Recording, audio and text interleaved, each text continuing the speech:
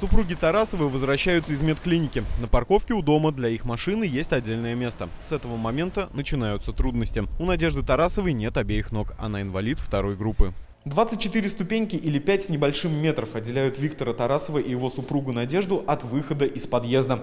Чтобы 60-летним супругам было удобнее покидать свое жилище, они просят установить пандус со второго этажа и до выхода из подъезда. Из-за сахарного диабета в январе 2020-го Надежда Александровна потеряла способность передвигаться без посторонней помощи. Каждое утро Виктор Сергеевич помогает жене спуститься к машине. Из-за почечной недостаточности женщине каждое утро нужно ездить в диализный центр. Что, коляска приезжала, как они здесь делают? Как пандус что ли?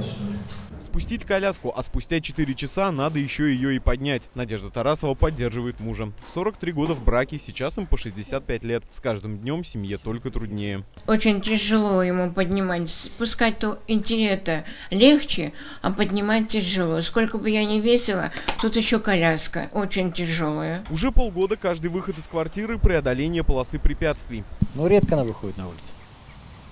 А почему? А? Ну, как вот по этим ступенькам поднимать, спускать да поднимать. В феврале Виктор обратился в департамент жилищной политики и ЖКХ.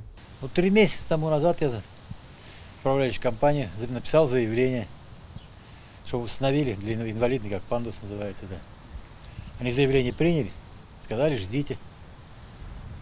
Все, на этом.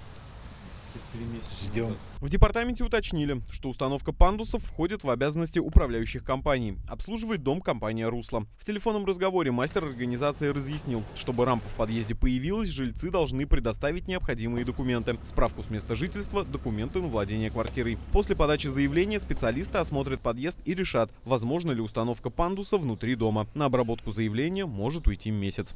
Тимур Туманов, Альметьевск ТВ.